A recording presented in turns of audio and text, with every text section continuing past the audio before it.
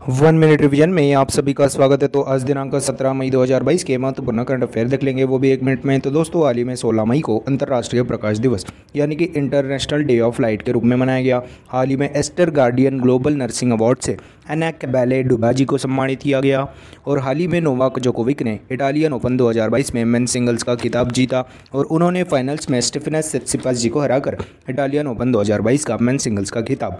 Novak Djokovic जी ने अपने नाम किया। हाल ही में पोप द्वारा संत घोषित किए जाने वाले पहले आम भारतीय देवसहायम पिल्ले जी बन गए। हाल ही में जारी फोर्ब्स ग्लोबल 2000 की सूची में बर्कशायर हैथवे जो कि वारेन बफेट की कंपनी है, वह टॉप पे है। हाल ही में मई 2022 में निधि छब्बर जी को सीबीएसई के अध्यक्ष के रूप में नामित किया गया। हाल ही में साउथ कोरिया ने फाइनल्स में चाइना को हराकर उबर कप 2022 को अपने नाम किया। हाल ही में इंटर सोलर यूरोप 2022 प्रोग्राम का आयोजन म्यूनिक जर्मनी में किया गया।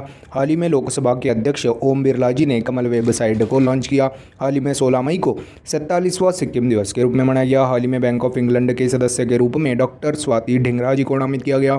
हाल ही में माई इलेवन सर्कल ने महिला टी चैलेंज टूर्नामेंट के लिए टाइटल स्पॉन्सरशिप जीती। तो दोस्तों, यह थे सत्रह मई दो हज़ार बाईस के महत्वपूर्ण करंट अफेयर। वो भी एक मिनट में। धन्यवाद दोस्तों।